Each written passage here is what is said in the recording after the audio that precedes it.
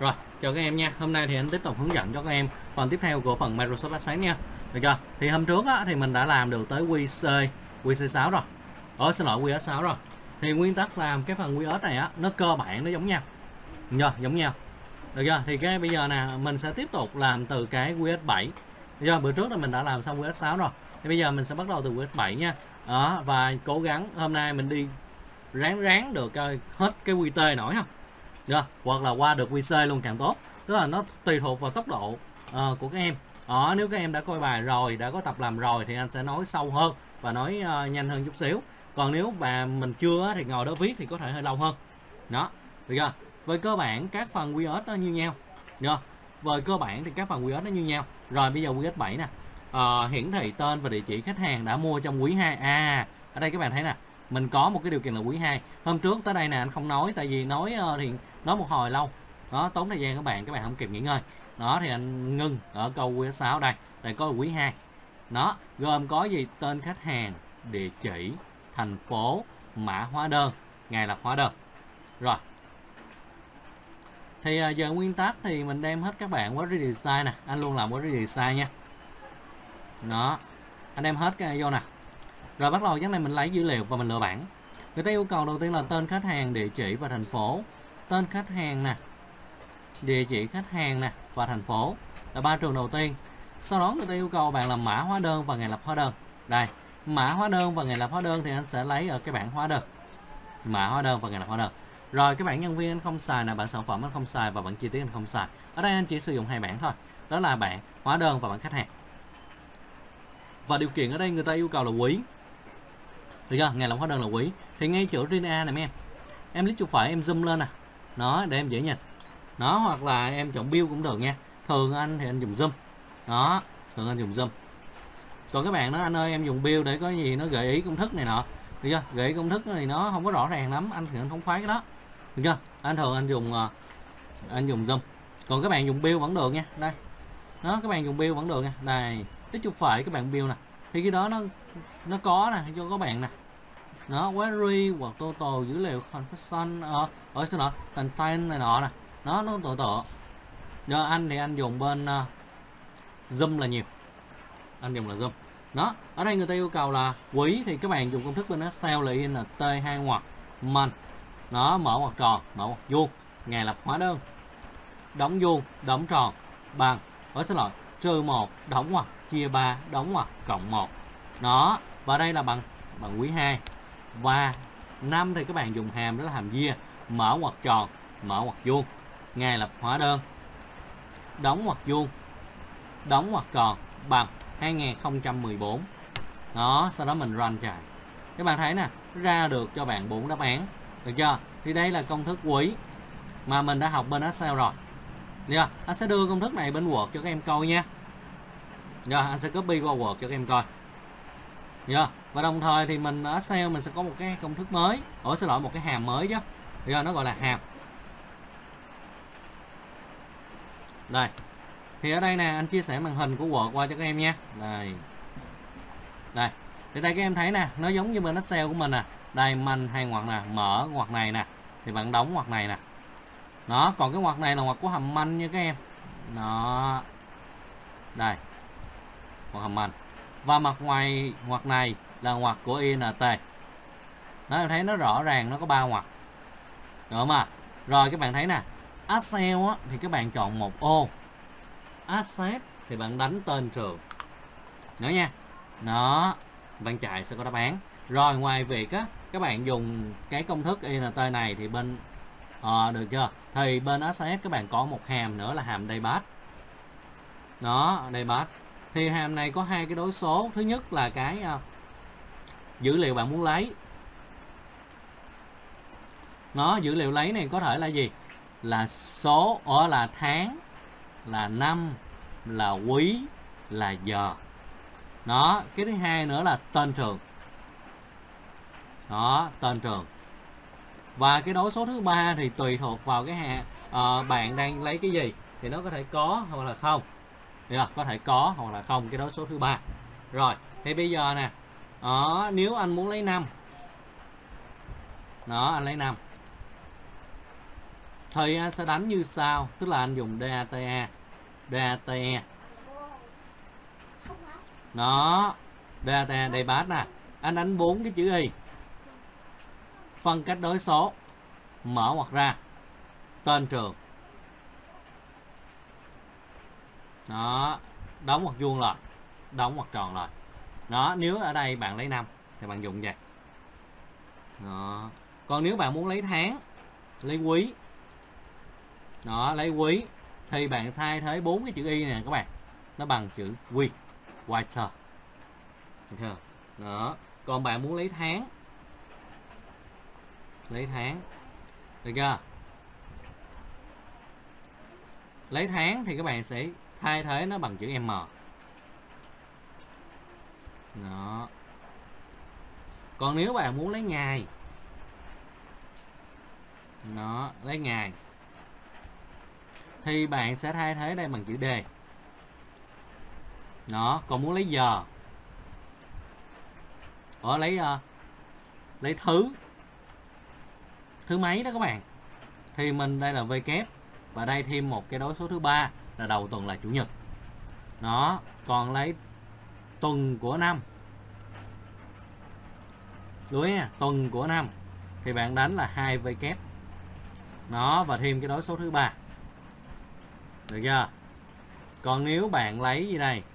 Lấy giờ thì ở này đó là chữ h. Nó còn nếu bạn lấy phút, thì ở đây nó là chữ n nha, chứ không phải m nha. Còn nếu bạn lấy giây nó lấy dây. Thì ở đây các bạn sẽ lấy gì đây? Bạn ghi đây là chữ S đó. Đây là cách dùng của hàm đây bát ở các trường hợp cơ bản đó thường gặp trong đề thi của mình. Đó. Giờ nó chỉ khác nhau là gì đây? Cái đối số này nè. Nó coi coi. Mình cần lấy cái gì? Và nhớ đặt trong ngoặc kép nha mấy em. Đặt trong ngoặc kép được không à? Nếu đề bài yêu cầu cụ thể là yêu cầu bạn dùng đây bát thì bạn bắt buộc phải dùng hàm đây bát còn nếu không có nói gì thì bạn muốn dùng đây bát cũng được. Bạn muốn dùng các hàm cơ bản khác vẫn không ai nói gì các bạn. Được chưa? Đó. Rồi, mời các bạn ghi chú vô dùm anh cái trường hợp này. Đó, các trường hợp có thể xảy ra với đây bát cơ bản mà mình hay gặp. Mời các bạn sửa vô. Ghi chú cẩn thận. Rồi, thì bây giờ nè, mình quay lại bài này nè. Quay lại dữ liệu mình nè. Thì các em thấy nè khi anh dùng ở đây, nó ra được 1 2 3 4 dòng bằng int vậy bây giờ anh dùng đây bát thì chuyện gì sẽ xảy ra? DAT BART quý thì mình đánh chữ quỳ. Chấm phẩy ngay lập hóa đơn. Đóng hoặc vuông, đóng hoặc tròn lại. Bằng. 2 ham n ham o, các bạn trong asset đặt ở giữa nha các bạn. Đó, và ở đây anh dùng đầy bát luôn. Thay vì anh dùng hàm chia được chưa? Vẫn được nha các em. Đây, bốn chữ y. Chấm phải. ngày lập hóa đơn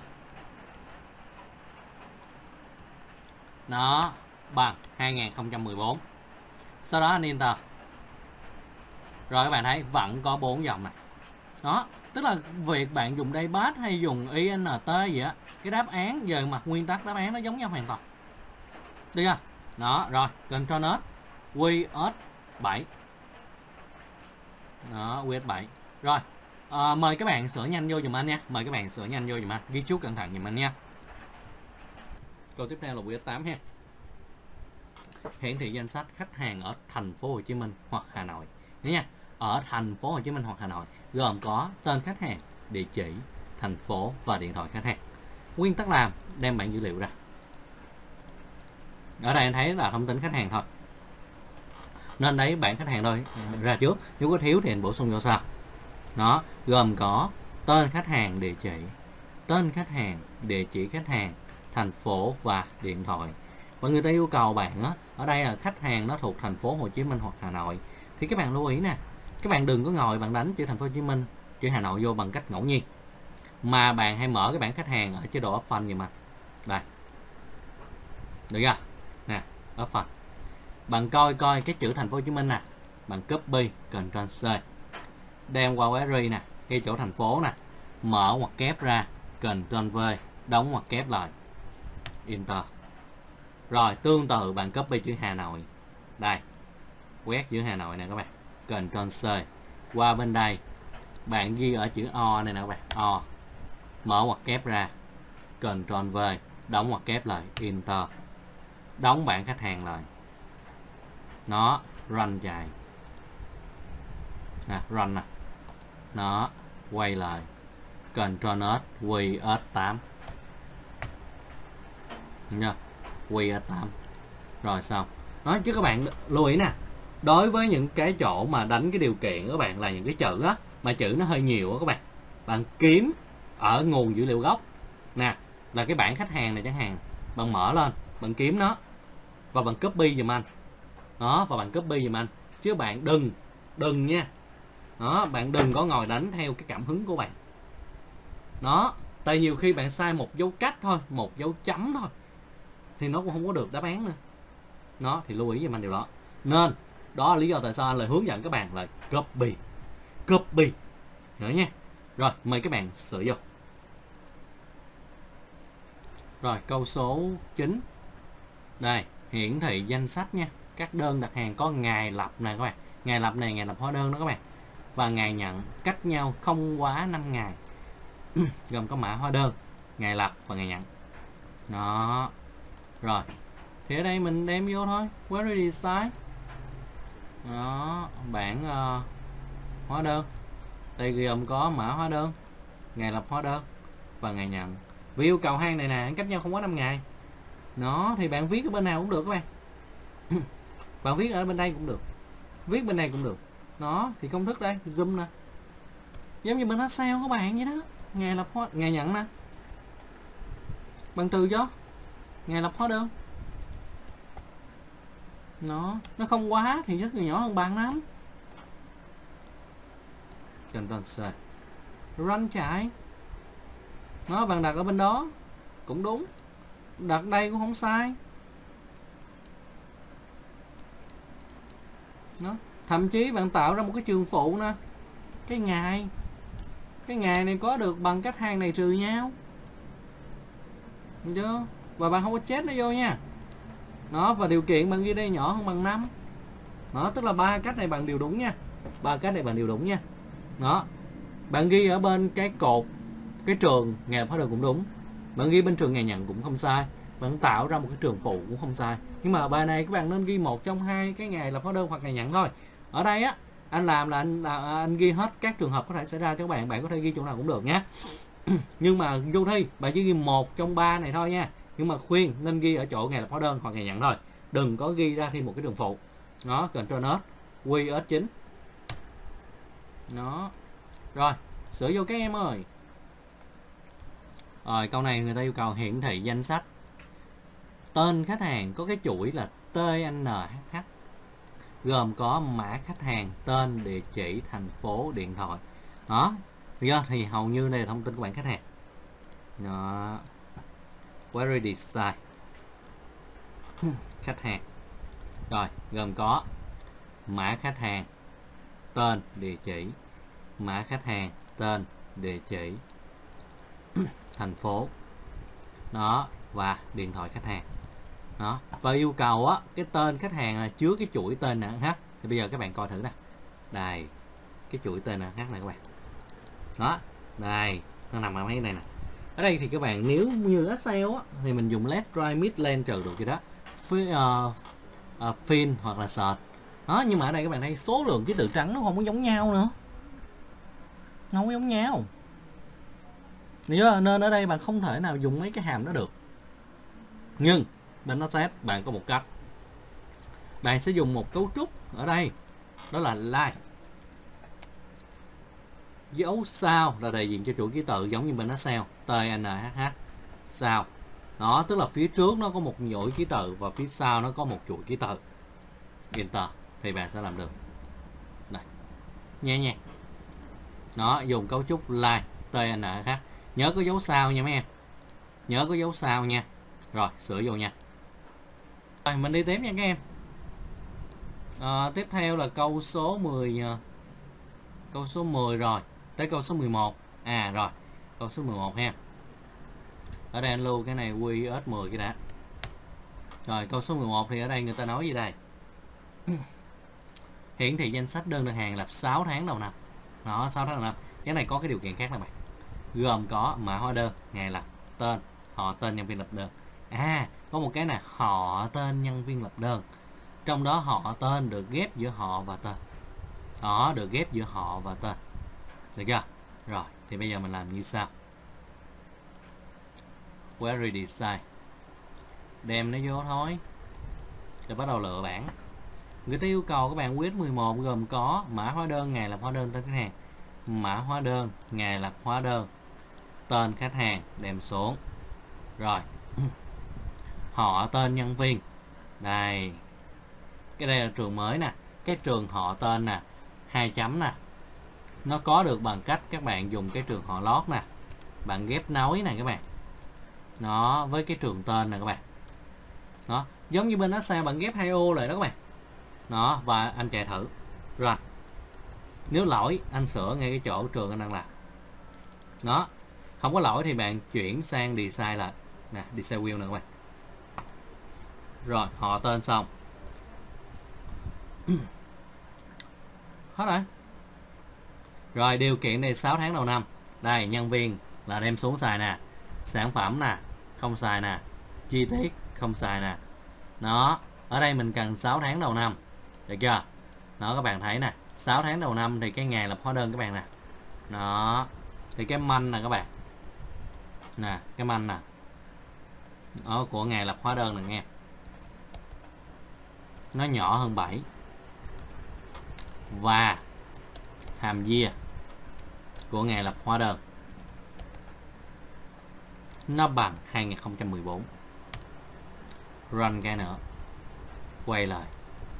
Nó. Sau đó Ctrl S QS 11 được chưa? Nó. Bạn cứ đánh điều kiện vô làm từng ý nè các bạn thấy. Đầu tiên nè, cái trường mới là họ lót nè. Ở xin lỗi, họ tên nè, làm họ tên xong anh chạy xong rồi bắt đầu anh mới đánh điều kiện. Đó, và mỗi lần anh có đánh điều kiện hoặc là anh khai báo một trường mới, thì anh luôn luôn chạy thử.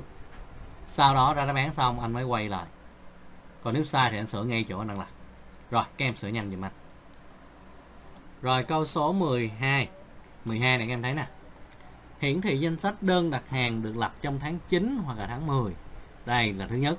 Khách hàng có dạng là tên TNH tức là cái tên khách hàng đó mấy em nó gồm có mã hóa đơn, ngày lập hóa đơn, họ tên, nhân viên lập đơn, tên sản phẩm, số lượng, đơn giá và thành tiền. Đó, thì mình cứ làm từ từ. Đây. Đem hết dữ liệu vô. Rồi, bắt đầu kiểm tra.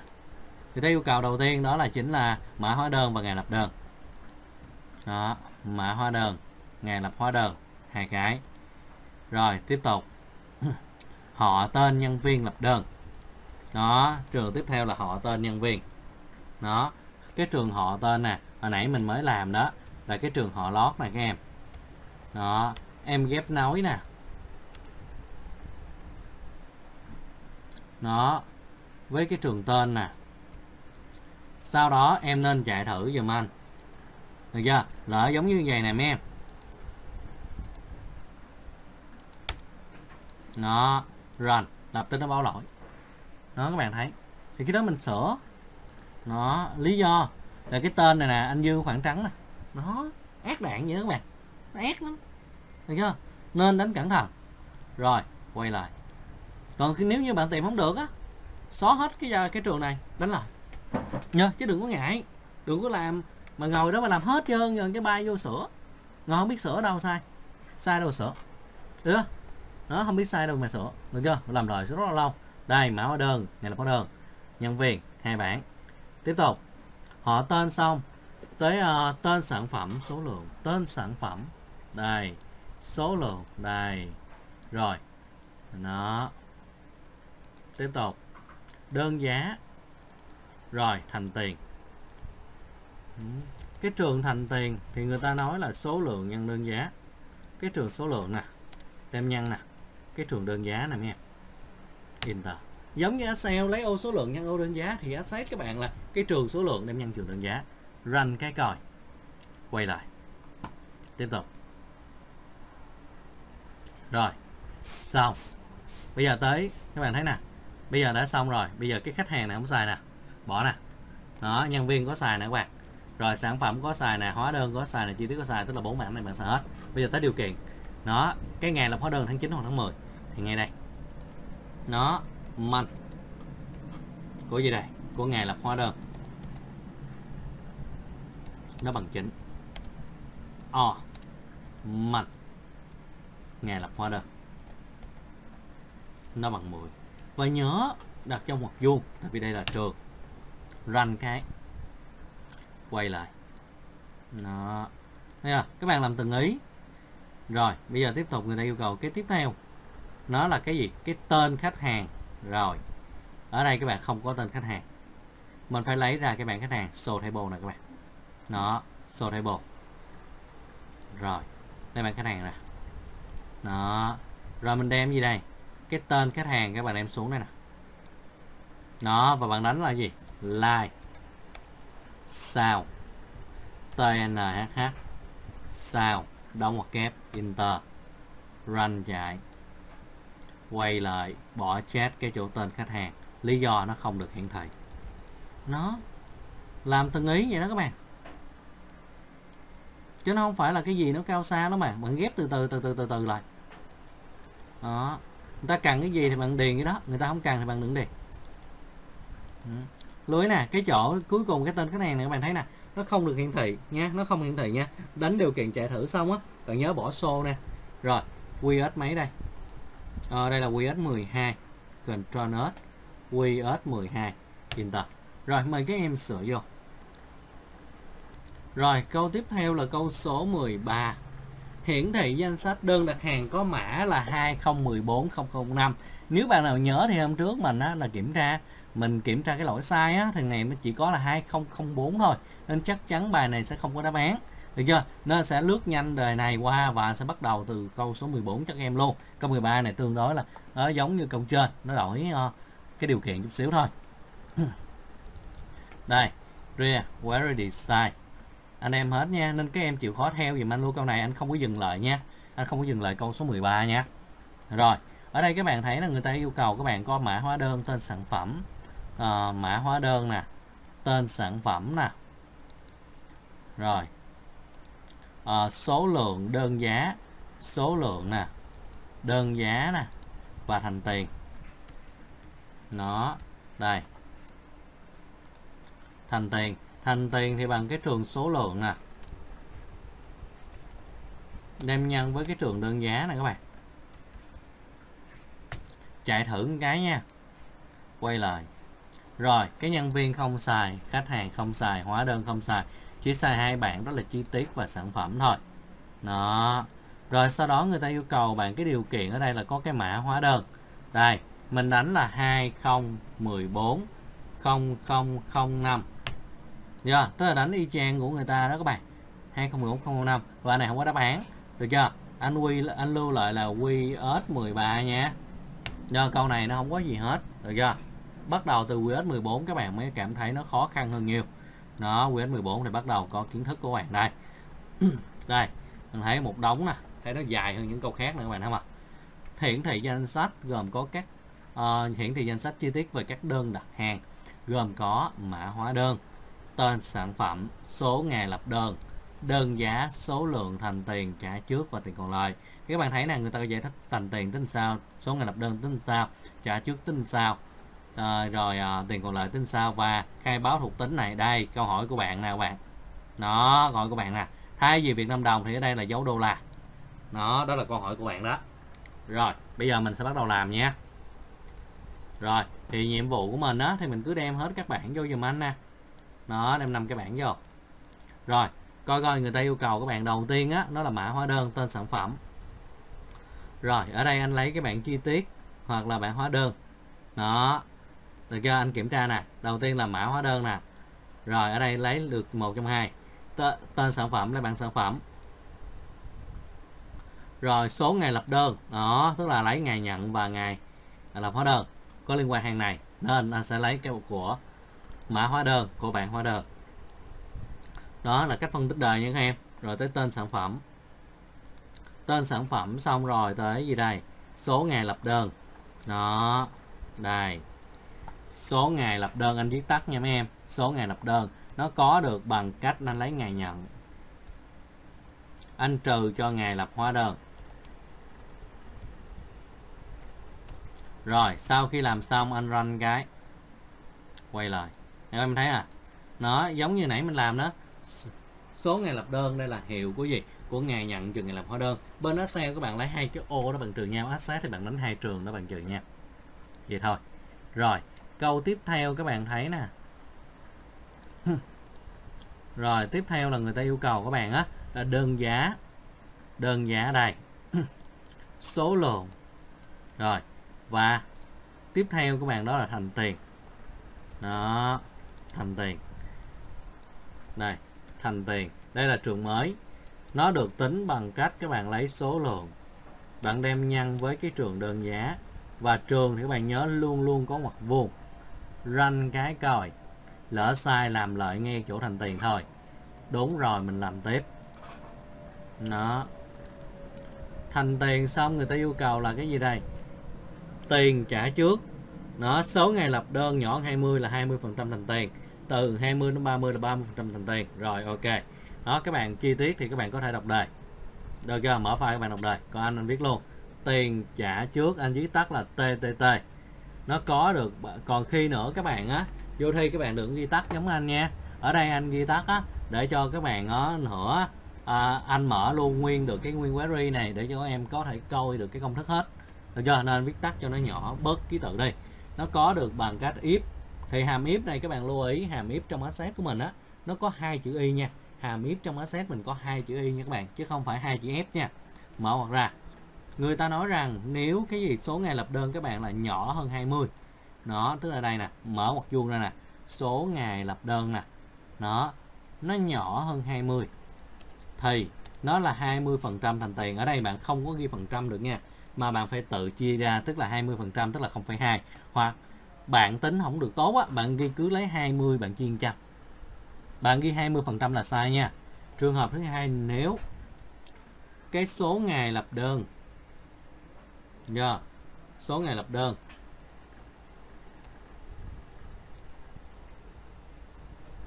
Số ngày lập đơn từ 20 từ 20 đến 30 à đó nên nó nhỏ hơn bằng 30 là đủ rồi. Được không ạ à? Đó thì nó là 30 phần trăm ngược lại là 40 phần trăm một if hai if và tất cả đem nhân với trường thành tiền.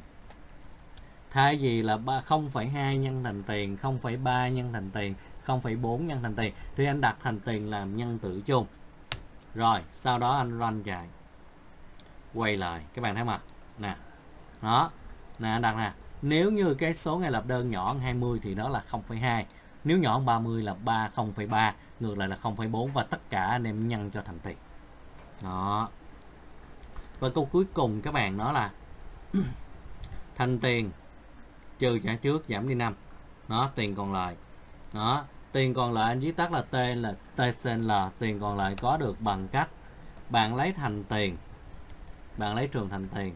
Bạn đem trừ cho tiền trả trước TTT và được giảm, toàn bộ này được giảm đi 5% tức là bạn nhân cho 95% đó là lý do tại sao các bạn thấy anh đặt đây một cụm ngoặc. Đó, tức là anh lấy thành tiền, anh trừ tiền trả trước, anh ra con số và con số đó anh mới nhân cho 95% còn nếu bạn không đặt ngoặc thì có nghĩa là tiền trả trước nhân 95% thôi đó, ok run sau đó ở đây có này, nó có ở đây, các bạn thấy nè, cái khách hàng bạn không xài nè, cái nhân viên các bạn không có dùng nè. Đó, mình chỉ xài ba bảng này thôi. Và sau đó bạn lưu lại dùm anh Ctrl S QS14 Enter đóng lại dùm anh luôn. Làm xong rồi đóng lại dùm anh. Rồi, sau đó bạn mở lên dùm anh cái QS14 lại. Thì giác này bạn mới có đánh được cái phần à, cái à, đơn vị Việt Nam đồng được cái đó. Rồi, bạn click chuột phải chọn Romanti bạn click chuột phải chọn Romantic hoặc là Romanti ở trong cái thẻ design này. Đó Romanti sau đó các bạn có format nè, nó y chang như bên nó sale các bạn, click chuột phải format sale đó các bạn. Rồi đánh dùm anh dấu thân phân cách hàng ngàn. Hai dấu thân tại người ta yêu cầu hai dấu thân con số 0 cách ra một cái, đánh đô la. Phân cách hàng ngàn của anh là dấu chấm, người ta đánh là dấu phẩy nha. Nó rồi. Sau đó, ở bên đây cũng vậy. Click chuột phải rồi bánh tây format thăng. Khoảng cách hàng ngàn, hai dấu thăng, con số 0 cách ra đô la. Nó, đô la. Nó hoặc cách ra Việt Nam đồng, nhưng mà Việt Nam đồng các bạn đặt trong ngoặc kép. Được chưa? Đây anh đặt chữ Việt Nam đồng cho các em nè. Rồi bánh tì. Thăng, chấm, hai dấu thăng, con số 0 nó, Việt Nam đồng. Rồi. Đó. rồi, run. Các bạn thấy nè giá này, Việt Nam đồng hiện tại nè. Nó đúng không ạ? Rồi, bây giờ anh sẽ mở công thức cho các em nhé. Lít chuột phải rồi bánh tì. Lít chuột phải rồi bánh tì. Đây, mình đang học asset nha. Rồi, sau đó chỗ format các bạn đánh thăng, phân cách hàng ngàn. Hai dấu thăng, một số 0 tại vì người ta yêu cầu như vậy. Đó, tại người ta yêu cầu vậy. Rồi, sau đó các bạn đánh chữ đô la, Việt Nam đồng. Đó, nếu là Việt Nam đồng thì đặt ngoặc kép giùm anh. Còn đô la thì không đặt cũng được. Rồi, mời các bạn sửa vô QS14 nhớ nếu một số máy thì các bạn có thể làm trực tiếp không cần lưu nó nhưng một số máy bạn làm trực tiếp nó không có nhảy được chữ Việt Nam đồng đô la liền, mà bạn phải lưu lại. Lưu lại xong bạn mở ra rồi bạn làm lại thì cái này lưu lại mới được. Đó, cái lỗi đó là anh không biết tại sao. Đó. Được chưa? Kể cả office nào cũng vậy nữa. Nhiều lắm. Rất dễ bị lỗi. Kể cả dùng bản quyền cũng bị lỗi đó nữa. Đó, nên chịu khó làm đó dùm anh chút xíu. Mời các bạn sửa vô câu số 15 hiển thị danh sách chi tiết các đơn đặt hàng gồm có mã hóa đơn, ngày lập ngày nhận, tên khách hàng, họ tên nhân viên, tên sản phẩm, đơn giá, số lượng, thành tiền, tổng tiền. Và người tài dịch thành tiền, tổng tiền như thế nào đó. Được chưa? Ở đây, tổng tiền nó giải thích được bằng cách như sau là lấy thành tiền cộng tiền kho. Và nếu thời gian lập đến ngày nhận, nó không, nó từ nằm trong khoảng từ 20 đến 40 thì không tính tiền kho. Nhưng mà nếu như nó gì nó nhỏ hơn 20 thì cứ mỗi ngày nó giảm đi đó ví dụ như hiệu của ngày nhận trường là báo đơn mà nó ra 19 thì bạn được giảm 2.000 cái hiệu nó ra 15 thì bạn giảm được 10.000 được chưa? Rồi tương tự như vậy nếu nó lớn hơn 40 thì cứ một ngày nó tăng thêm. Ví dụ như cái hiệu nó là 41 thì bạn sẽ cộng thêm 2.000 và nếu cái hiệu này là 50 thì bạn sẽ cộng thêm 20.000 đó nên là như vậy. Rồi bây giờ mời các em vô bài tập cụ uh, mời các em uh, làm cụ thể nó. Uh, làm cụ thể. Đây năm cái bảng. rồi. À, người ta yêu cầu các bạn nó gồm câu 15 gồm có mã hóa đơn ngày lập hóa đơn ngày nhận mã hóa đơn ngày lập hóa đơn ngày nhận rồi sau đó tiếp tục là gì đây? Họ tên nhân viên các bạn nhân viên nha các em. Nó đây là trường mới nè. Họ tên nhân viên. Bằng cái trường họ lót đem ghép nối.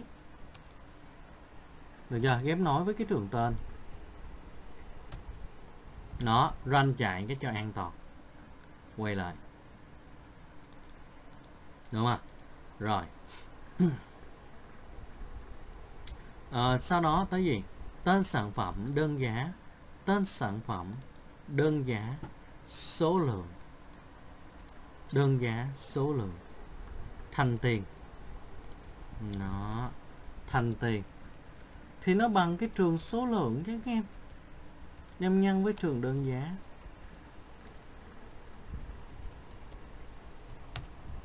Run cái nữa cho an toàn. Quay lại. Rồi, cái cuối cuối cùng nó là tổng tiền. Nó rồi, ở đây khách hàng này các bạn thấy không có xài nè. Đúng không rồi. Tổng tiền. Cái trường tổng tiền có được bằng cách cái lấy cái trường thành tiền, đem cộng cho cái ít nếu nếu cái gì đây? Nếu cái ngày nhận, bạn đem trừ cho ngày làm hóa đơn, mà nó nhỏ hơn 20 thì bạn sẽ lấy 20 bạn trừ cho của cái hiệu ngày nhận trừ ngày lập hóa đơn. Nó, và nguyên cái này ra con số, đem nhân cho 2000 và nhớ đặt dấu âm phía trước, tại vì giảm đi. Trường hợp thứ hai, nếu cái hiệu của ngày nhận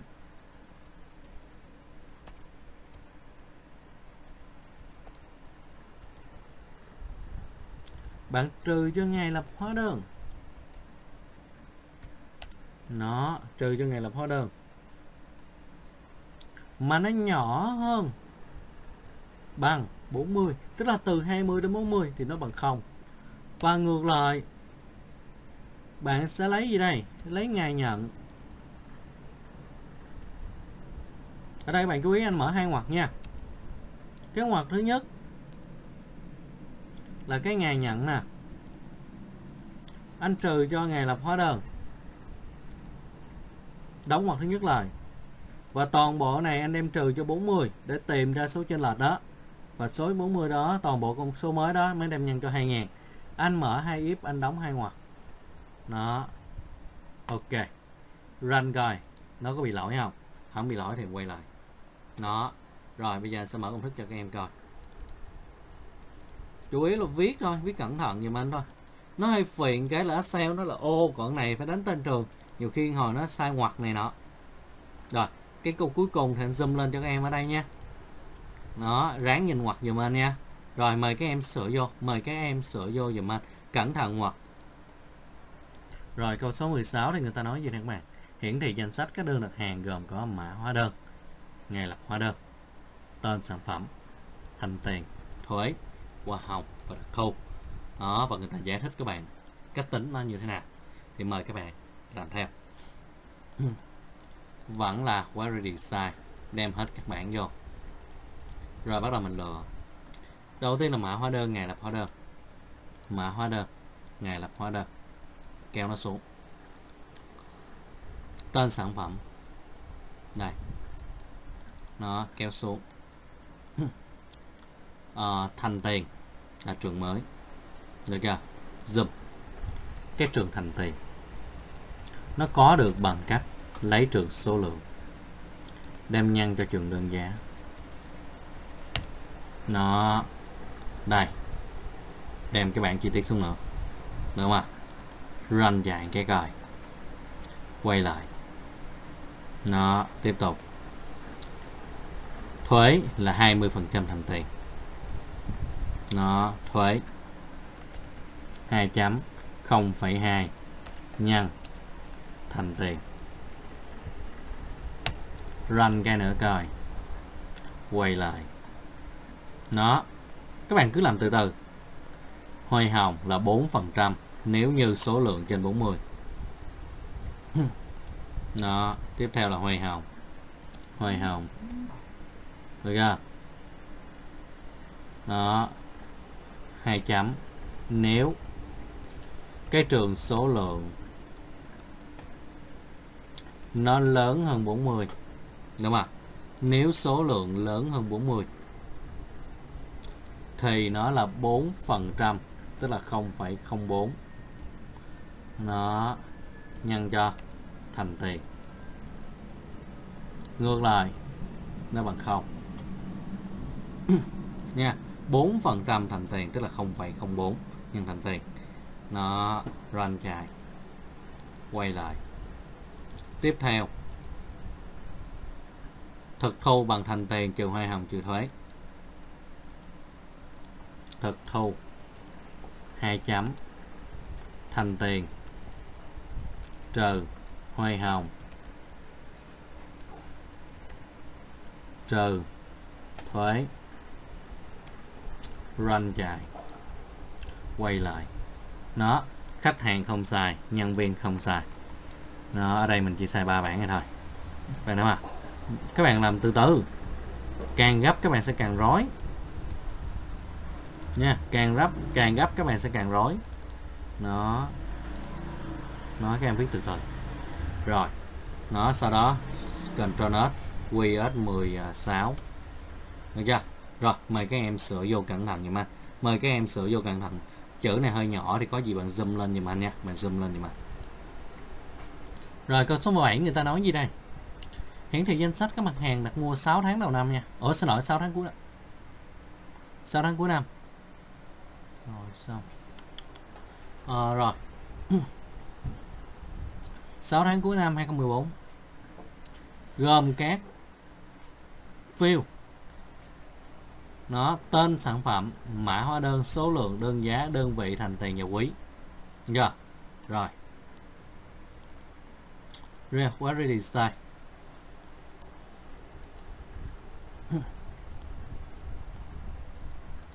rồi.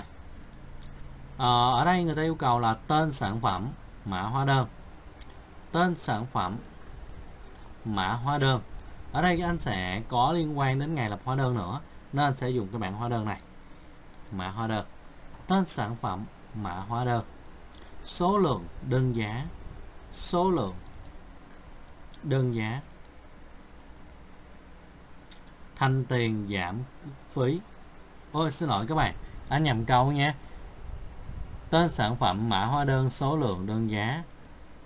Tên sản phẩm mã hóa đơn số lượng đơn giá. Rồi. Ờ, đơn vị tính thành tiền. Đơn vị tính thành tiền. Thành tiền thì bằng cái trường số lượng đem nhân cho cái trường đơn giá. Nó run dài. Quay lại. Tên sản phẩm mã hóa đơn số lượng đơn giá đơn vị và thành tiền. Và cái cuối cùng là quỹ nha. Quỹ 17 ha, quỹ. Và quý người ta lại nói là từ tháng 7 đến tháng 9 năm 2014 được chưa? Là quý 4 quý 3 đó, tới đây nè các em. Quý được chưa? Nó có được bằng cách dùng hàm if nè, nếu nếu cái man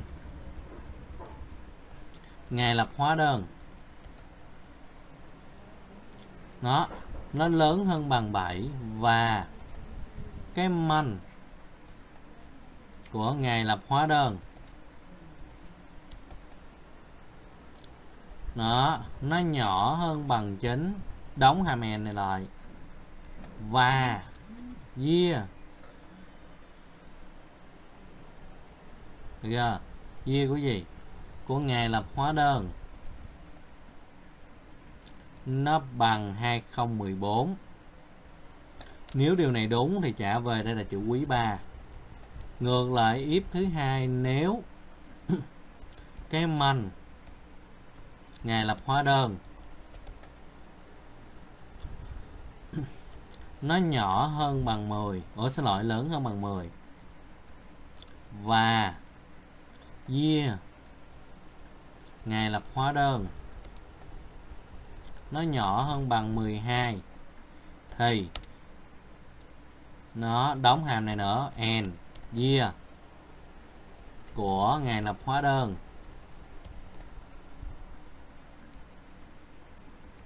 Nó bằng 2014 thì, trả về chữ quý 4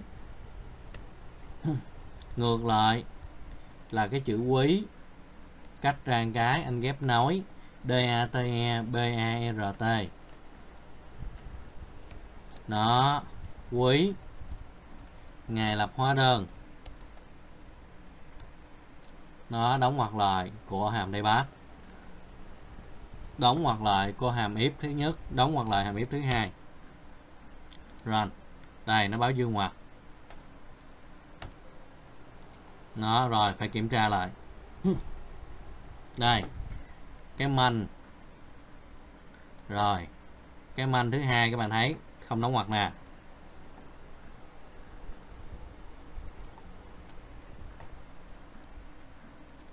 Run. Đúng không quý một, quý 2, quý 3, 4 rồi. Đó và sau đó bạn phải ghi ở điều kiện dưới này nè. Tại vì á để chút xíu anh mở cho em nha. Tại vì người ta yêu cầu bạn đó là 6 tháng cuối năm 2014 tức là cái quý này các bạn, mình sẽ ghi là gì? Quý 3 o, quý 4 chưa tại 6 tháng cuối năm 2014 là thuộc quý 3 hoặc là quý 4 đó, rồi. Chú ý thêm dùm anh chỗ này nha. Đó, cái quý nè. Rồi ờ, rồi anh sẽ bỏ vô đây bỏ khách hàng. Bỏ nhân viên. Anh chỉ lấy ba bảng này thôi. Nó, ở đây anh chỉ lấy ba bảng đó là bảng hóa đơn chi tiết và sản phẩm. Được không ạ? À? đó và cái này thì anh sẽ mở lên cho các em coi ha. Từ từ anh mở. Rồi ok. Cái manh gì đây? Cái manh nó nhỏ hơn bằng 12 cái year này nó là 2014 ok cái này là manh nha. Cảm ơn bạn. Rồi run cái lại coi. Nó cảm ơn bạn nhắc nha. Đấy, anh viết hơi ờ, hơi không cẩn thận lắm. Nó đây cái zoom mình nè. Đó. Nếu như nó lớn 7 và nhỏ hơn 9 và thuộc năm 2014 ở đây anh đóng cái ngoặc nè. Lý do cái ngoặc này nè tức là nó xét cái trường hợp nó là tháng 7 đến tháng 9 đã rồi mới xét tới năm đó như bạn nào hỏi nãy á, nếu có and viết sao nó viết sao thì chú ý nè nó viết vậy là đọc sao viết vậy. Đó còn nếu các bạn không có cái ngoặc này nè các bạn không có cụm ngoặc này nè thì cái tháng 9 này nè nó thuộc năm 2014 nhưng mà tháng 7 này năm nào cũng được. Chú ý nha. Đó. Và tương tự dưới này cũng vậy. Đây nó xét tháng 9 và tháng 12 xong nó mới tới cái gì và trường hợp cuối cùng á thay vì dùng ít nữa thì anh dùng đây bắt cho nó nhanh. Tại vì ở đây anh dùng này là theo cái đề bài yêu cầu theo cái đề bài yêu cầu. Đó, rồi, mời các em sửa vô dùm anh nha. Rồi, câu số 18 người ta nói gì đây? Hiển thị danh sách đơn hàng 6 tháng đầu năm. Ở trên đó là 6 tháng cuối năm. Rồi, ở đây là 6 tháng đầu năm. Đúng không? Gồm có mã hóa đơn, tên sản, phẩm, số lượng, đơn giá, thành tiền, giảm, cước phí, thanh toán. Rồi, và người ta giải thích cho bạn. Rồi, thì bây giờ mình làm thôi.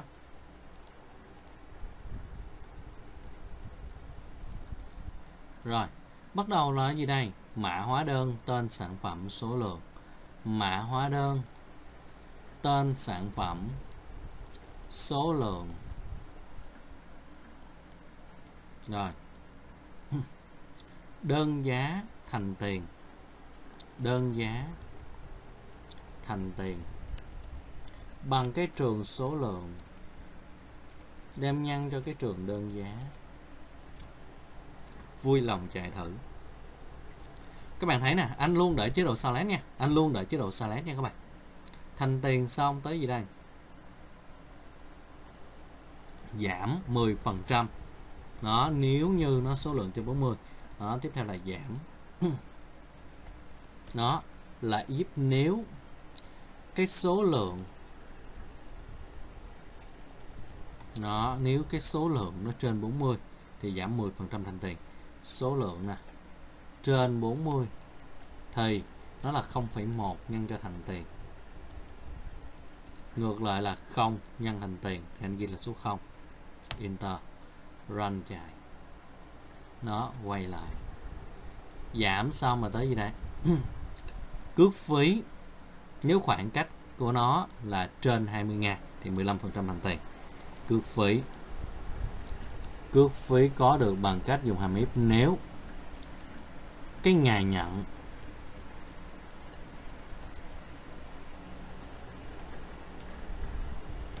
cái ngày nhận mà đem trừ ngày lập hóa đơn. Nó đóng hoặc lại, nó trên. Người ta yêu cầu là trên 20 ngày. Thì thì nó là nhiêu đây? Là 15 phần trăm thành tiền tức là 0,15 đem nhân cho thành tiền. Nó thành tiền. Và ngược lại nó là không có cước phí. Chạy thử coi có bị sai không? Quay lại. Cuối cùng thanh tiền trừ giảm cộng cước phí là thanh toán. Thanh toán hai chấm thành tiền. Trừ giảm cộng cước phí run chạy tiếp. Nó thành tiền viết sai thôi mà và thành tiền nó là cái gì đó? Giờ mà này là thanh toán. Đó, bạn thấy tên trường nó giống nhau không được nhé. Đó, bạn thấy. Giờ rồi, quay lại. Rồi, nhân viên không xài nè. Khách hàng không xài nè. Nó mình chỉ xài ba bảng này thôi. Đó. Rồi, sau khi làm xong đó, các bạn thấy nè rồi mình còn cái gì đây? Cái điều kiện ở đây là người ta yêu cầu 6 tháng đầu năm. Đó, thì ngày lập hóa đơn của bạn đâu? Đó các bạn thấy, không có nè. Được chưa? Thì mình kéo cái ngày lập hóa đơn xuống. 6 tháng đầu năm 2014 được chưa? Thì đây là gì đây? Cái mình của ngày lập hóa đơn. Đó, nó nhỏ hơn 7 và year của ngày lập hóa đơn nó bằng 2014 nó, chạy thử. Ra đáp án xong quay lại ngày lập hóa đơn các bạn không có xài. Được chưa? Nó các bạn thấy. Nhớ nha ngày lập hóa đơn các bạn không có xài nhé. Tại nó không có được hiển thị được chưa? Mình lấy ra để mình à, làm bài thôi. Đó. Hiểu rồi.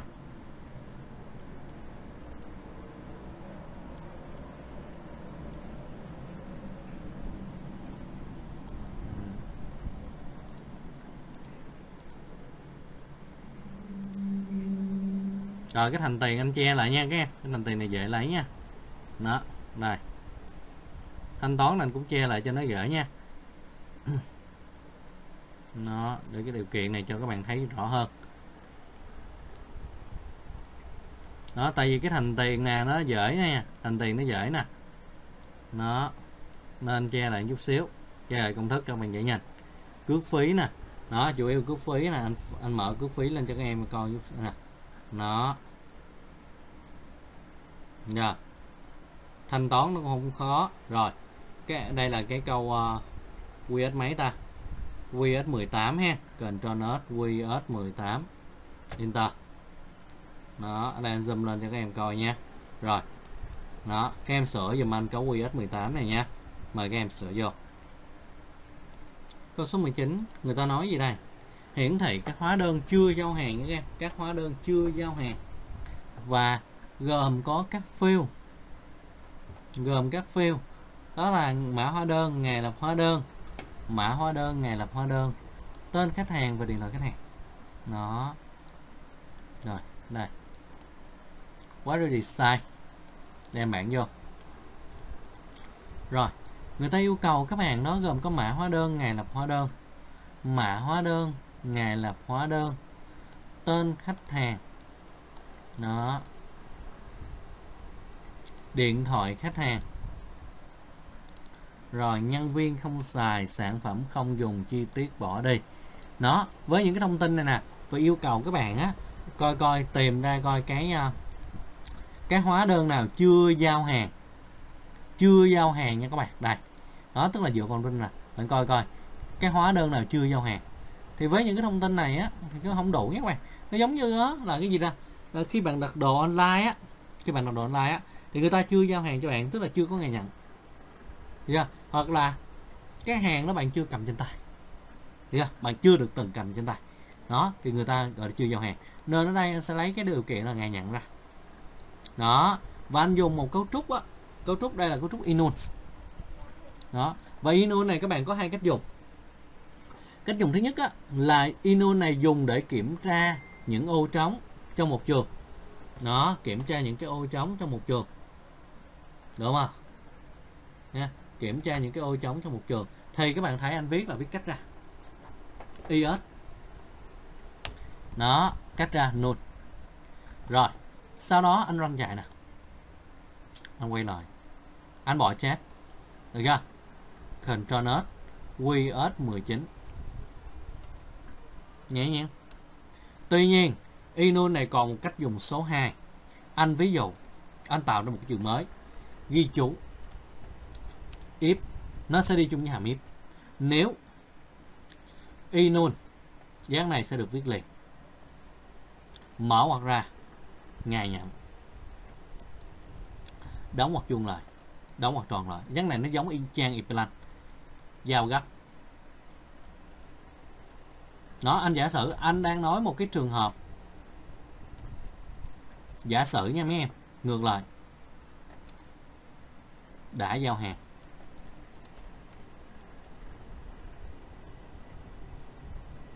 Đó.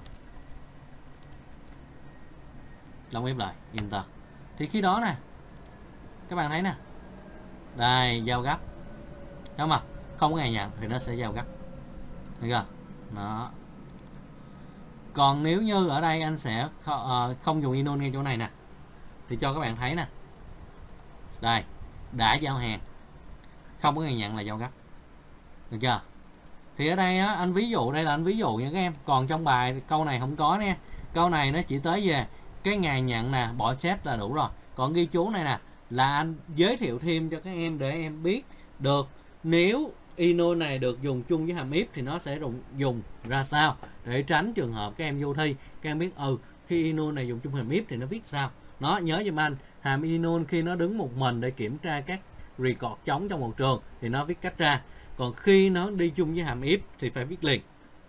Và cách dùng, giống như hàm if blank bên mời các em sửa vô dùm anh câu QS19 rồi câu số 20 thì người ta nói gì đây? Hiển thị tên sản phẩm có giá bán, có đơn giá nè, có đơn giá thấp nhớ nha, thấp nhất nha em rồi, gồm có tên sản phẩm, đơn vị và đơn giá. Đây variety size cái bảng sản phẩm. Nó người ta gồm có tên sản phẩm, đơn vị và đơn giá. Và yêu cầu cái đơn giá là thấp nhất, thì các em lưu ý, các em lưu ý giùm anh. Đó, nếu như trong bài thi á, yêu cầu em tìm ra cái giá trị thấp nhất hoặc là giá trị cao nhất trong một trường. Nhớ giùm anh là trong một trường nha. Đó, tìm ra giá trị cao nhất hoặc là giá trị thấp nhất trong một trường. Thì các em hãy sắp xếp cái trường đó tăng hoặc là giảm nha. Tăng hoặc giảm. Được chưa? Đó. Rồi, ví dụ bài này yêu cầu là tìm ra giá trị cao nhất thì mình sẽ sắp giảm dần. Tìm ra giá trị thấp nhất thì mình sắp tăng dần. Đấy nha?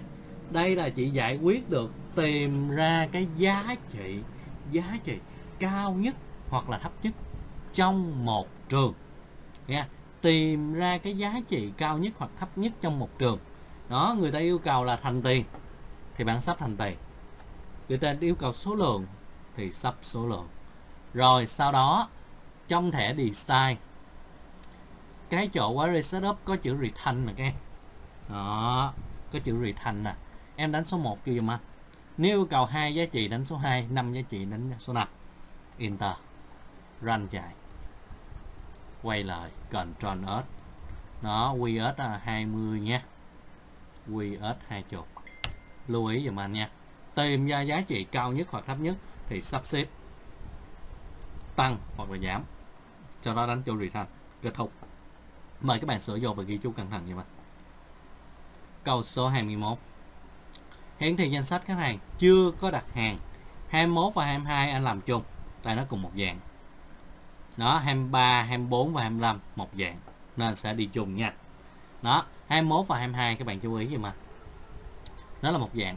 Hiển thị danh sách khách hàng chưa đặt hàng hay gọi là người đó chưa mua hàng lắm em gồm có mã khách hàng tên điện thoại và địa chỉ khách hàng. Nó rồi thì đây. Đó, mình vô cái phần access nè, mình lấy cái bạn khách hàng ra. Nha. Rồi, người ta yêu cầu gồm có gì đây? Gồm có mã khách hàng, tên khách hàng. Mã khách hàng, tên khách hàng. Đó. Điện thoại và địa chỉ. Điện thoại. Điện thoại trước nha. Rồi, tới địa chỉ. Rồi đó và yêu cầu với những cái thông tin này nè tìm có ai chưa mua hàng. Thì một số bạn á và trung tâm có thể dạy bạn bằng SQL thì anh không dùng SQL anh dùng một cái khác. Tại đề thi các bạn chỉ cho một hoặc hai cái thiếu thôi nên không dùng SQL cho nó mệt. Đó tại vì SQL á lỡ viết sai chữ à đi luôn cầu, không biết tìm được sửa. Đó nên hướng dẫn bạn một cách thủ công thủ công chút xíu. Đó ở đây các bạn thấy nè dựa vào những cái thông tin này thì chắc chắn mã khách hàng là là khóa đó, tức là dựa vào mã khách hàng thì bạn sẽ có được những thông tin phía sau. Giống như mã sinh viên các bạn, dựa vào mã sinh viên thì có những cái thông tin cơ bản của các bạn. Đó, rồi. Thì bây giờ nè, anh sẽ kiếm một bảng ngoài bảng khách hàng sẽ có một cái bảng nữa nó cũng chứa mã khách hàng. Hóa đơn đi chẳng hạn. Đây. Gồm có mã hóa đơn, mã khách hàng. Đây mừng quá. Rồi. Ở đây nè, các bạn thấy nè, bạn có thể mở cái bảng khách hàng này lên nè. Nó ở chế độ ở này cũng được nè. Đây. Mã khách hàng các bạn gồm có những cái thông tin nè từ KH001 nè, đến KH010 đó, thì áp dụng giống như cái quy tắc mà các bạn tìm cái lỗi sai số 4 trong phần liên kết. Bạn sắp xếp cái mã khách hàng này, tăng hoặc giảm. Rồi bạn kiếm gần nào không có trong đây, thì nó chưa mua hàng. Tức là đây là danh sách những khách hàng đã mua. Người ta xuất hóa đơn ra. Nó bây giờ tìm trong cái đây không có, thì nó chưa mua hàng. Đó tìm đây bạn sắp tăng hoặc giảm thì nó sẽ ra bạn nhanh lắm. 01 nè 02 nè 03 nè 04 nè. 5 nè 6 nè 7 nè 8 thiếu cá 09 và 010 rồi, đóng lại khỏi cần luôn. Qua đây đánh điều kiện. Mã khách hàng. Đó KH009 O KH010 Enter Run. Xong. Đó, xong câu. Đây là QS21 QS21 còn nếu là QS22 thì các bạn thấy nó tương tự và nó các bạn tự đọc đời dùm anh. Nó lấy thông tin của bản uh, à, sản phẩm. Được chưa? Đây rear query design anh lấy bản sản phẩm. Được chưa? Nó gồm có gì đây? Nó gồm có mã sản phẩm tên sản phẩm đơn vị và đơn giá. Mã sản phẩm nè tên sản phẩm nè đơn vị nè và đơn giá nè. Và yêu cầu coi cái sản phẩm nào chưa được bán ra. Đó chưa được bán được chưa? Thì ở đây là bản sản phẩm. Thì mình kiếm một cái bảng nữa cũng chứa cái mã sản phẩm. Đó, anh coi cái mã sản phẩm nè. Là từ 001 nè. Nó đến 020 đó, được không à thì anh sẽ kiếm cái bảng, một bảng nữa. Anh ví dụ bản chi tiết coi. Hơn quá mở được liền. Nó hơn quá mở được liền. Thì anh sắp xếp cái bảng chi tiết là tăng hoặc giảm. Giả sử anh tăng. Đó, xin lỗi, giảm 20 19 18 17 16 15 14 13 12 11 10 nó 9 8 7 6 nè 5 nè 4 nè 3 không có 3 nó tức là thiếu 003 rồi hai có nè, một không có. Tức là thiếu 003 và 001 nó xong, quay ra đây. Đánh cái điều kiện, các bạn 001 o 003 rồi đi ra 13 đó, tại sao ra 13 muốn biết thì bạn mở cái bảng khách sản phẩm lên. Đây mình mở lên cho bạn ở đây sai nó thì bạn thấy tại, nó mở hiển thị 003 nó hiển thị 003 nha. Nhưng mà nó lại khi đánh ra nó chỉ con số 1 và số 3 là đây nè các bạn. Cái format nè đó cái format đó bạn. Nó có ba con số uh, nó có những con số không? Và nó giống như bên Excel các bạn đánh số thứ tự á. Bữa đó nói nếu chụp phải format Excel đó rồi uh, vô kho tâm đó các bạn đánh mấy số không phía trước đó các bạn. Nó thì cái này cũng y chang vậy nè. Cái này cũng y chang vậy nè. Nó nên đó là do tại sao các bạn sản phẩm này khi bạn đánh ra nó chỉ là có số 1 và số 3 là như vậy. Nó view rồi control uh, QS 21 nó bị trùng ha. Vậy là QS 22 rồi nó. Rồi mời các bạn sửa vô dùm anh hai câu 21 và 22 rồi thì các em thấy nè nãy giờ từ cái dạng uh, từ QS1 cho đến QS22 các em thấy hầu như là mỗi một dạng bài tập uh, mỗi một cái câu á thì ờ, đối với cái trường mới được chưa? Đối với trường mới hoặc là điều kiện anh sẽ yêu cầu các bạn là chạy thử. Được chưa? Chạy thử. Rồi, sau đó ra đáp án hết rồi, các bạn mới lưu lại thì đối với phần dạng tiếp theo đây là các em, đó là dạng nhập từ bàn phím nha, nhập từ bàn phím. Thì các em lưu ý, các em hãy làm những cái bước giống như anh chị này sớm giờ. Nó tức là các bạn ghi các điều kiện điều kiện hết rồi đó. Rồi, sau đó bạn mới ghi là nhập cái gì đó từ bàn phím. Đó, nhập cái gì đó từ bàn phím. Được chưa? Nhập cái gì đó từ bàn phím. Nha. Và khi bạn đã ghi cái chữ nhập từ bàn phím rồi, thì khi đó bạn lưu không nhập thử đáp án, không ranh thử nha. Đó, anh nhắc lại, khi bạn đã, đối với dạng bài tập nhập từ bàn phím thì các bạn nhớ, khi đối với dạng này thì các bạn nhớ là bạn làm đã xong hết rồi, khi bạn ghi cái kết cuối cùng là nhập cái gì đó từ bàn phím thì bạn không chạy run nữa, mà bạn lưu, bạn lập bài bạn lưu, bạn qua câu khác chứ không có ngồi đó mà bạn chạy thử nha. Tại vì chạy thử này bạn phải biết được đáp án. Bạn phải biết được đáp án. Được chưa? Nếu không bạn uh, uh, nhập sai á thì bạn sẽ có vấn đề liền. Đó bạn tưởng mình làm sai. Ví dụ câu này à, có cái mã nhân viên nhập từ bàn phím thì bạn phải biết là mã nhân viên các bạn trong bài này ví dụ của mình là từ 1 đến 5 bạn nhập 6 7 8 hoặc là 10 mấy là không có đáp án. Đấy nha đó nhập từ bàn phím này bạn phải nhập cho đúng những cái giá trị có trong cái bảng dữ liệu của mình. Nếu không nó tưởng đâu mình là nó sẽ ra đáp án cho bạn là rỗng. Và một số bạn có thể mình tưởng đâu mình sẽ làm sai. Nên nhớ cho mình điều đó. Rồi rồi anh mời các em qua câu số 23 được chưa? Hóa đơn nào cho ai ngày lập ngày nhận và địa chỉ khách hàng? Đó. Query design nó mình vẫn làm ở salad bình thường nha các em. Nó mình ở dạng salad bình thường. Nó gồm có đây cái gì nè? Hóa đơn nào tức là mã hóa đơn. Ở à, hóa đơn bậc chi tiết. Để đây rồi. Cho ai? Tức là tên khách hàng. Kéo xuống ngày lập hóa đơn, ngày nhận về địa chỉ khách hàng. Đó, tức là lấy cái bạn hóa đơn. Mã hóa đơn. Được chưa? Rồi. Tên khách hàng. Ngày lập hóa đơn, ngày nhận. Ngày lập hóa đơn, ngày nhận. Và địa chỉ khách hàng. Đó là những thông tin cơ bản mà người ta yêu cầu đối với bài này. Đó. Rồi sau đó các bạn thấy nè, cái nhân viên không xài sản phẩm, không xài và chi tiết không xài nó được chưa? Và người ta yêu cầu bạn nhập từ bàn phím cái mã nhân viên. Nhập từ bàn phím cái mã nhân viên. Thì ở đây các bạn thấy nè, ở đây mình không có cái mã nhân viên. Đó, mình đem cái mã nhân viên xuống. Đó, mình ghi lại gì đây? Mở một vuông ra.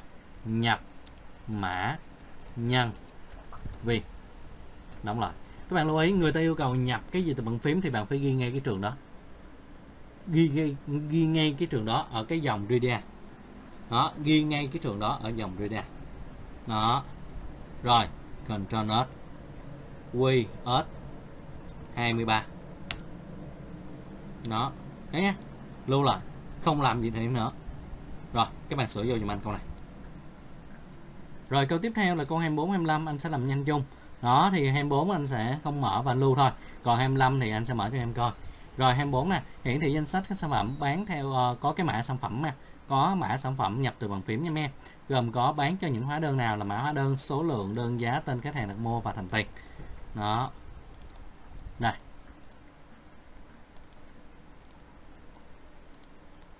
rồi. Thì ở đây các em thấy nè. Người ta yêu cầu các bạn là gì đây? Bán cho những sản phẩm hóa đơn nào? Đó, mã hóa đơn. Ở đây có thành tiền nên sẽ lấy bản chi tiết. Mã hóa đơn. Số lượng đơn giá. Yeah. Mã hóa đơn, số lượng đơn giá, tên khách hàng đặt mua. Đó, tên khách hàng. Và thành tiền. Đó, nhân viên không xài. Đó, cái trường tiếp theo các bạn cần đó là trường thành tiền. Có được bằng cách lấy cái trường số lượng. Các bạn đem nhân với cái trường đơn giá. Run chạy. Đó, quay lại. Đúng không? Rồi, coi coi người ta còn cái gì nữa không? Người ta không nói gì nữa. Cái nhập từ bằng phím, cái mã sản phẩm. Đây. Ở, nhập từ bằng phím, cái mã sản phẩm nha. Đó, thì mình sẽ lấy cái gì? Lấy cái mã sản phẩm ra. Đó. Rồi, mình ghi đây là gì đây? Nhập mã sản phẩm. Nó không có chết vô. Đây người ta yêu cầu trong cái câu này á là cái mã sản phẩm. Yeah, mã sản phẩm. Nó không hiển thị. Rồi Ctrl S QS 24 đó các bạn thấy. Không có lấy dư nha các bạn. Được chưa? Đó. Được chưa? Nhập cái mã sản phẩm từ bàn phím các bạn nha.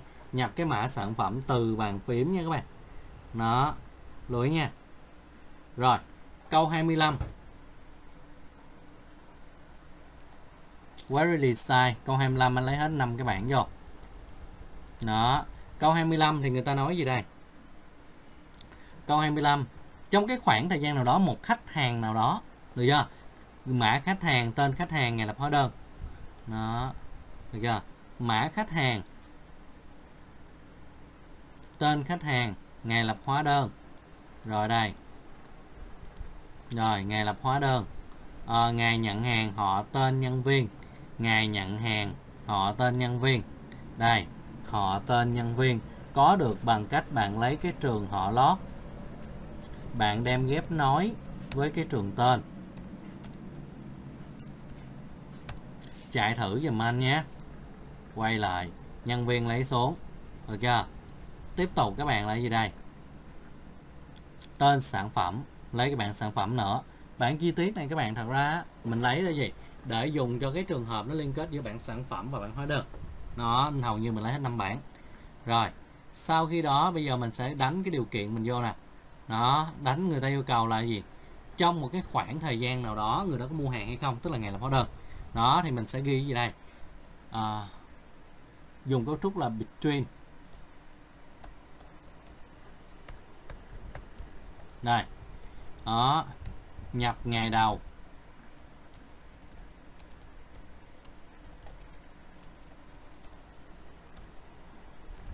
And nhập ngày cuối.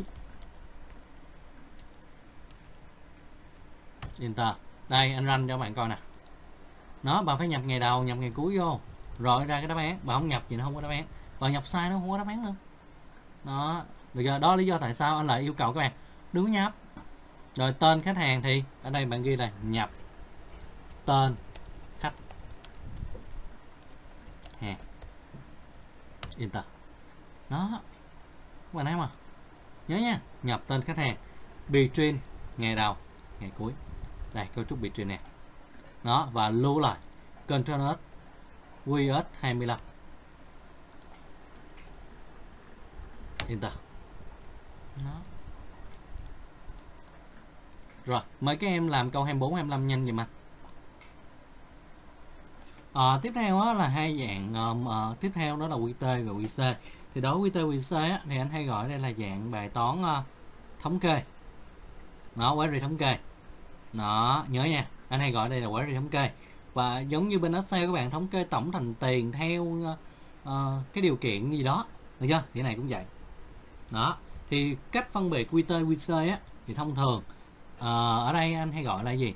Cái QT á nó sẽ có một cái điều kiện phía trước. Đó mã hóa đơn số sản phẩm và trị giá các bạn thấy nè giống như tính đếm số sản phẩm, tính tổng trị giá. Nó theo mã hóa đơn. Còn cái này nè, tên khách hàng mã hóa đơn trị giá, các bạn thấy có hai cái phía trước thống kê. Nhưng mà người ta yêu cầu QT thì mình làm theo. Đó, còn nếu không, câu này là phải QC mới đúng. Hoặc câu này, tên khách hàng, số hóa đơn, tổng trị giá. Đúng không nó tính số hóa đơn và tổng trị giá theo tên khách hàng. Nó hoặc là câu ngẫu nhiên ở câu số 8 nè. Tổng số hóa đơn, tổng doanh thu quý.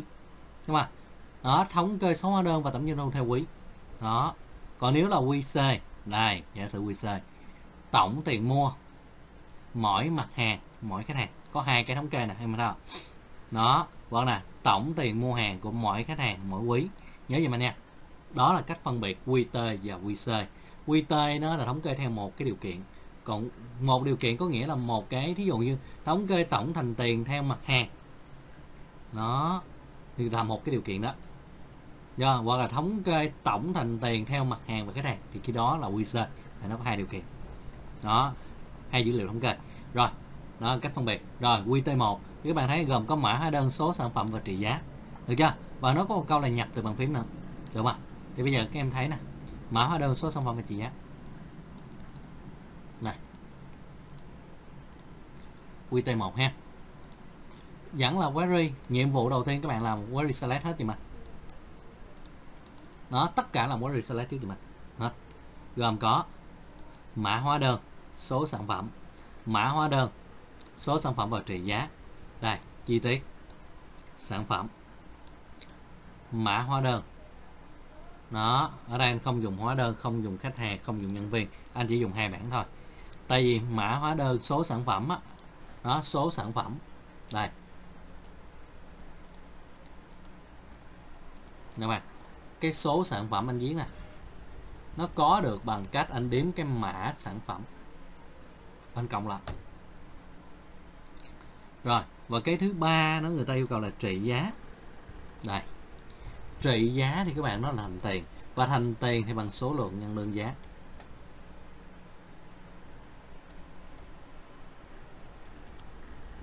Enter run chạy đúng là số sản phẩm cũng chạy luôn nha, mà nãy anh quên chạy nha em. Đó, rồi. Cái nhập từ bàn phím phải làm sau cùng nha, nhập từ bàn phím phải làm sau cùng. Sau đó, ở đây mình không có điều kiện phụ gì hết, thì mình vô total. Rồi, ngay chữ total này các em nhìn qua giùm anh. Đó, cái nào yêu cầu, chỗ group by nè, số sản phẩm đếm mình là khao. Trị giá, tính tổng, mình là sum. Run cái nữa. Quay lại nhập từ bàn phím cái mã hóa đơn. Nhập từ bàn phím cái mã hóa đơn.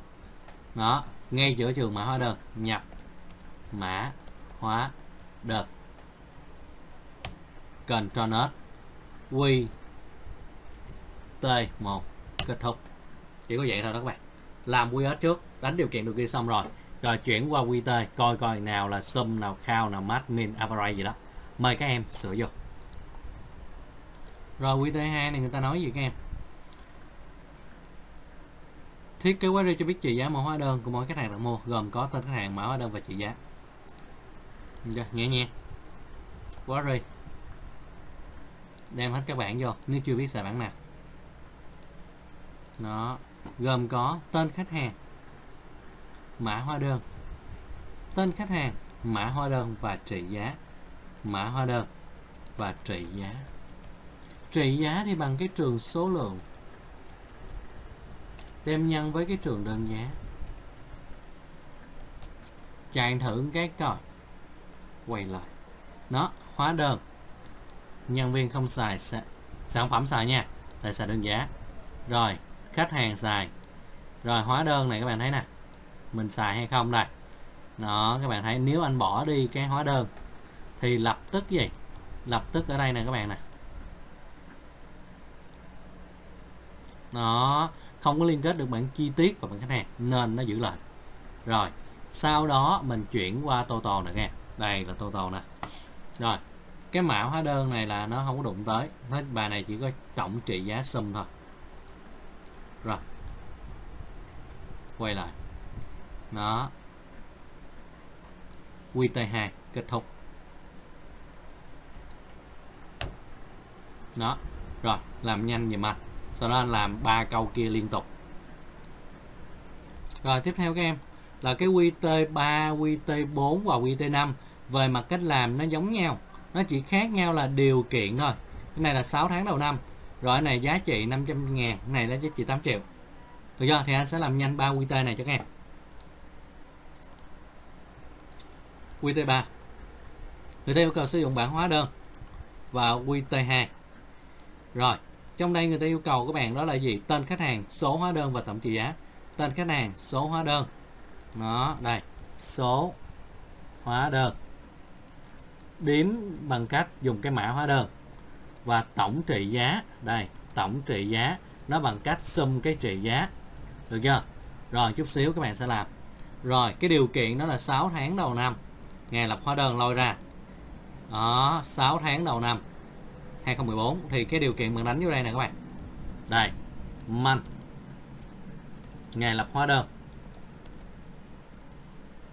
Nó nhỏ hơn 7 và year. Ngày lập hóa đơn.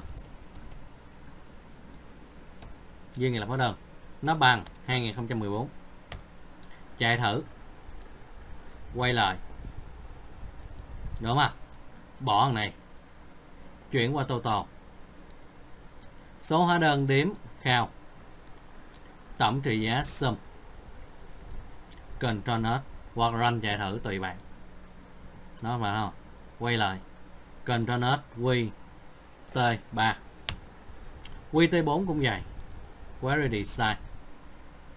Hóa đơn. QT2 gồm có tên khách hàng, số hóa đơn và tổng trị giá. Tên khách hàng, số hóa đơn, đếm mã hóa đơn, tổng trị giá bằng trị giá. Điều kiện trị giá này lớn hơn lớn hơn hoặc bằng 500 ngàn. Đánh điều kiện vô. Run chạy thử. Quay lại. Chuyển total khao sum. Ctrl S Q T. 4 QT 5 cũng vậy. Query Design. Hóa đơn. QT 2 tên khách hàng. Số hóa đơn. Có được bằng cách bạn đếm cái mã hóa đơn. Tổng trị giá. Có được bằng cách bạn tính trị giá dạ. Nhưng mà điều kiện của QT5 các bạn, nó là lớn hơn bằng 8 triệu. Lớn hơn 8 triệu. Có bằng không đây? Nó QT5 các bạn là lớn hơn 8 triệu, thì mình đánh lớn hơn 8 triệu. Rồi, run chạy thử. Quay lại, chuyển total nó, khao. Sum các bạn xác định cái khao sum đó dùm anh. Nó, bây giờ khao sum đó dùm anh. Rồi sau đó, các bạn đánh điều kiện đồ kia xong hết rồi. Sau đó bạn chuyển qua total và xác định chuyển cái nào khao cái nào là xong, vậy là xong quy tê. Đó các em sửa nhanh dùm anh vô nha. Các em sửa nhanh vô dùm anh.